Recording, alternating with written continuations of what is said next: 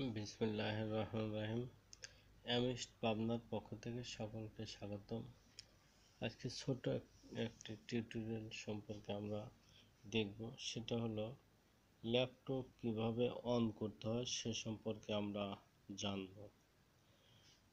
একটি ল্যাপটপ কীভাবে অন করতে হয় সে সম্পর্কে আমরা জানার চেষ্টা করব আর কি।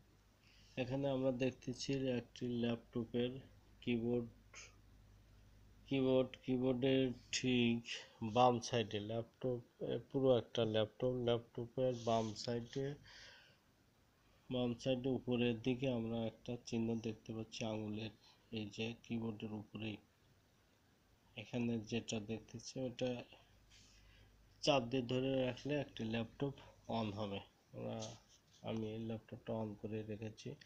এখন ল্যাপটপ অন হওয়ার পর আমরা দেখতে পাচ্ছি ল্যাপটপের উপর এই যে বিভিন্ন আইকন আছে।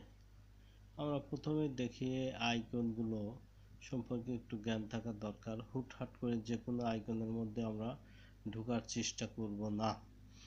যে আইকনগুলো ঢোকা যায়, সেগুলো আমরা ঢুকবো। অন্যগুলো সফটওয়্যারের আইকনগুলোতে আমরা কখনো ঢুকবো না। এই আইকনগুলো বড় থাকবে না, ছোট থাকবে, সে সম্পর্কে আমাদের জানতে হবে কীভাবে আমাদের আইকনগুলো বড় রাখা যায়, কীভাবে ছোট রাখা যায়, সেক্ষেত্রে আমরা দেখব কীভাবে পুরো মনিটর জুড়ে আইকনগুলো রাখা যায়।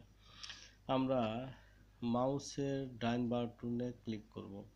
ডাইন বাটনে ক্লিক করলে আমাদের ভিউ আসে। ভিউর পর ভিউর এখানে গেলে লার্গ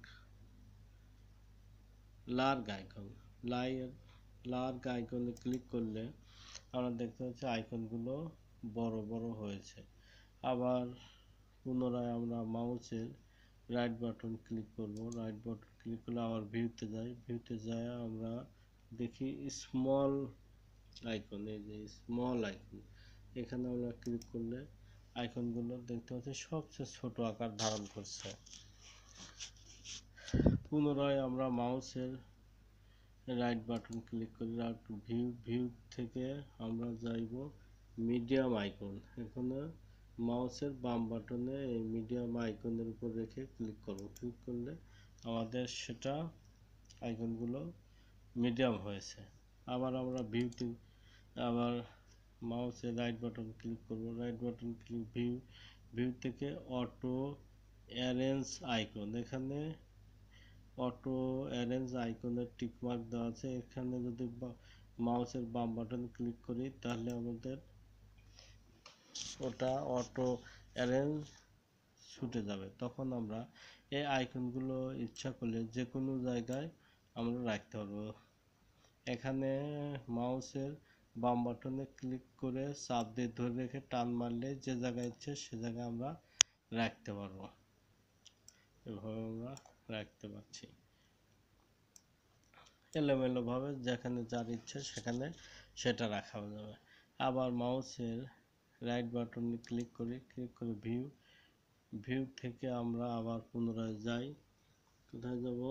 অটো অ্যারেঞ্জ আইকন এখানে ক্লিক করলেই পুরো সবগুলো আবার সুন্দরভাবে এই যে সুন্দরভাবে সেজে গেছে। যেখানে থাকার কথা সুন্দরভাবে সিরিয়ালি সাজাচ্ছে। এখন তাহলে আমরা দেখব, আমরা কীভাবে লিখব লেখাটা দেখা দরকার।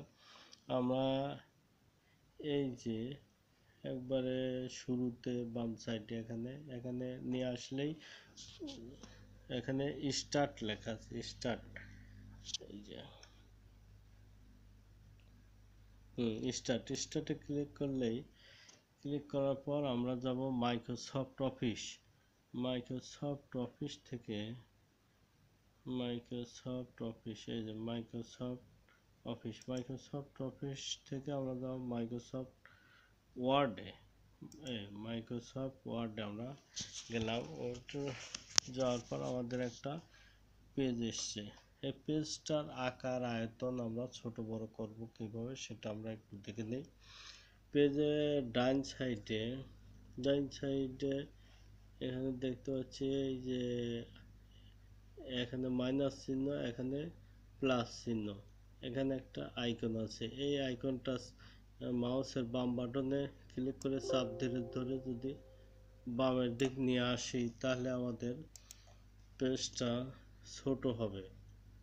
এটা যদি বাম দিকে নিয়ে আসি বাম দিকে নিয়ে আসলে পেজটা ছোট হয়েছে আর ডান দিকে প্লাসের দিক নিয়ে গেলে পেজটা বড় হয়। আমাদের